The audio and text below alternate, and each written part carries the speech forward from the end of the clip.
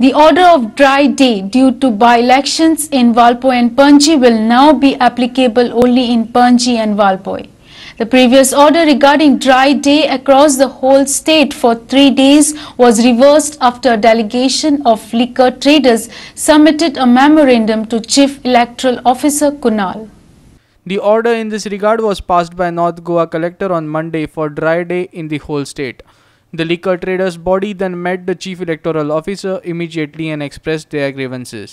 तुमकां सगळ्यांक खबर आसा चवथ आसा आमचे सगळे धाकटे धाकटे डिलर्स आसा बार्स आसा रेस्टॉरंट्स आसा. तांकां तांच्या सगळ्या स्टाफाची सॅलरी आतां एडवान्स दिवपाक जाय तांकां. सो एक मोठो बर्डन आशिल्लो.